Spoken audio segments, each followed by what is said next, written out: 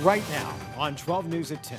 The winter storm has arrived in Arizona. Rain chances also on the rise for the valley. I'm tracking that hour by hour and snow totals for the high country. I'm Gabriela Becerra in Goodyear. New charges filed against the driver in a deadly cycling crash. We'll share the community's reaction. He was caught trying to bring drugs into a Maricopa County jail. And now a former detention officer was sentenced for being part of a drug ring.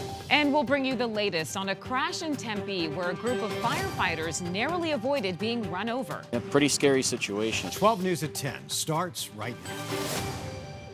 Well, here we go again. Look at all that white up in the high country. We're starting with a winter storm watch that's dumping snow in the high country and rain in the valley. Let's give you a live look at the train depot in downtown Flagstaff. And if you look at the street lights, you can see that snow coming down.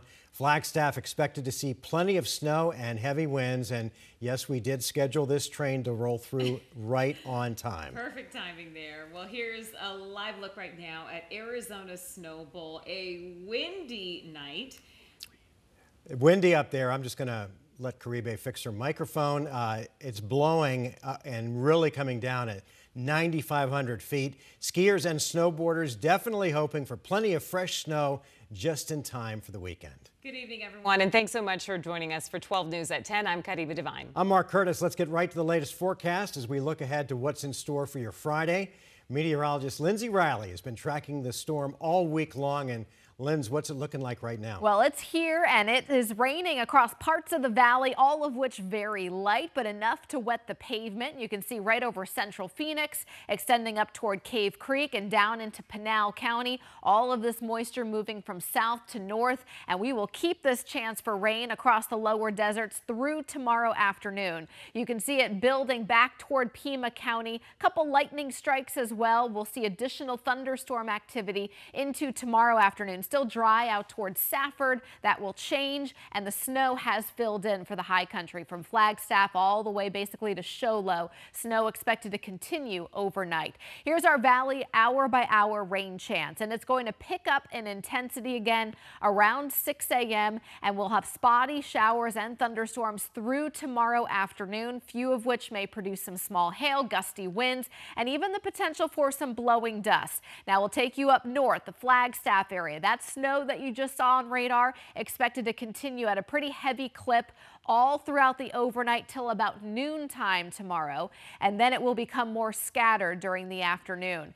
Out to the east, that heavy band of snow that's going to impact Flagstaff tonight, that will be moving east toward the White Mountains after noontime tomorrow and extending through about 10 p.m. So that's when we'll see the heaviest snow across eastern Arizona. We will look at snow amounts and also time out the rain a little bit closer here in the valley coming up in your full forecast. Mark? All right, Lindsay, we'll see you then. Tonight, there are new developments in a tragic crash that killed two people and wounded 17 others in Goodyear.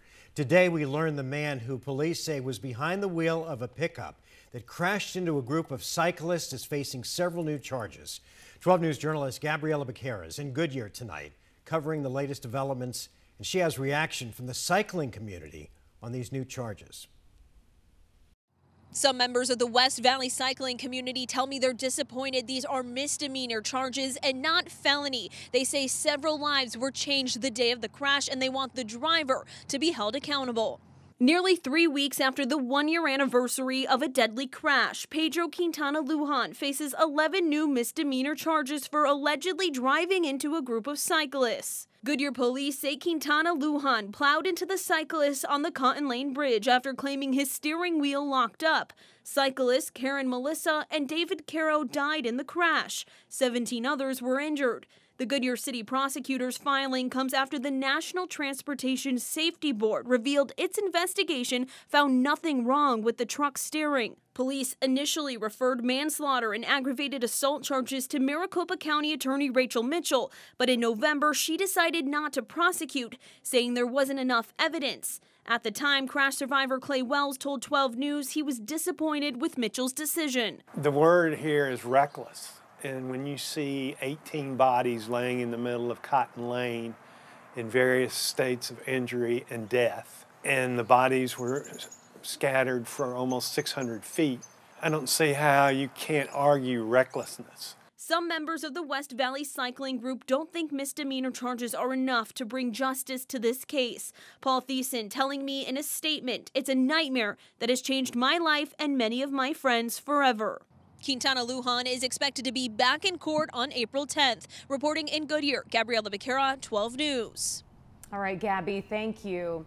New at 10, there are new developments in a string of Valley burglaries. A suspect who's already been indicted in one incident is now being linked to seven other burglaries. Investigators say that 20-year-old Sue Ellen Gutierrez will be facing several burglary and trespassing charges, all related to incidents that occurred between January 24th and February 12th. Phoenix police say that they're still actively investigating each incident. Developing tonight in Glendale, police are investigating a burglary at the Tanger outlets near Glendale and 95th Avenue. They say several masked men jumped out of a van and stole packages from a delivery truck just before noon. The truck was carrying merchandise from several stores. Police tell us the men loaded up their van and drove off. Investigators were able to track down the suspects near 79th Avenue in McDowell and seven people were taken into custody. So far, police haven't released the names of those suspects. The seventh suspect in the Preston Lord murder case pled not guilty in court this morning. 18 year old Treston Billy was the last of the seven suspects to be arrested.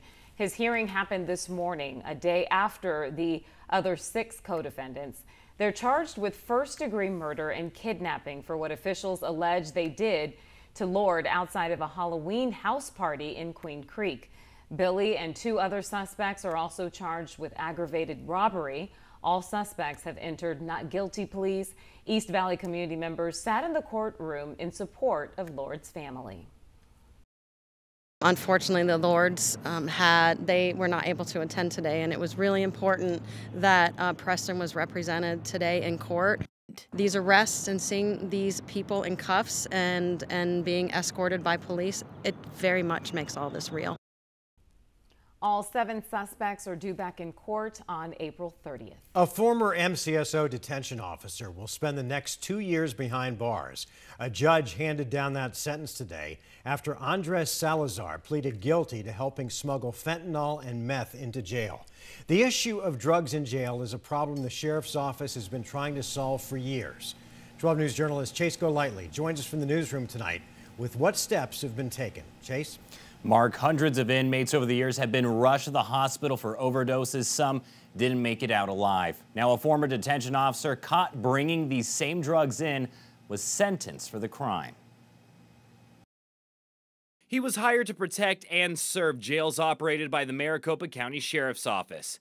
Instead, 28 year old Andreas Salazar was caught in a drug ring trying to bring fentanyl and meth inside. I'm disgusted. Former Sheriff Paul Penzone made the announcement last year, saying it was discovered during a four week investigation into Salazar. We have strong reason to believe this was his first attempt.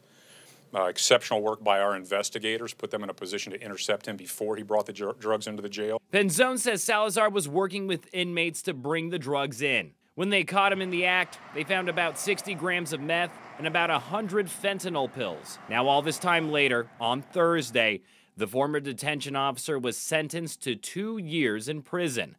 But the problem of drugs like fentanyl in county jails remains. In 2022, more than 170 inmates overdosed, with 17 dying in custody in Maricopa County jails. That trend continued to grow in 2023, with 200 inmates rushed to the hospital for overdosing. The sheriff's office seizing a record number of fentanyl, with people using batteries, bullet cartridges, and even face masks leading to Penzone installing body scanners at jails requiring everyone, including workers, to pass through them. Some form of search to make sure that we're not contributing to the problem and violating the law. Three other people are accused of working with Salazar. They include two inmates and an accused drug dealer. All three were recently indicted by a grand jury for their, their alleged role in this drug ring. We're live in the newsroom. Chase Golightly, 12 News. All right, Chase, thank you for that report.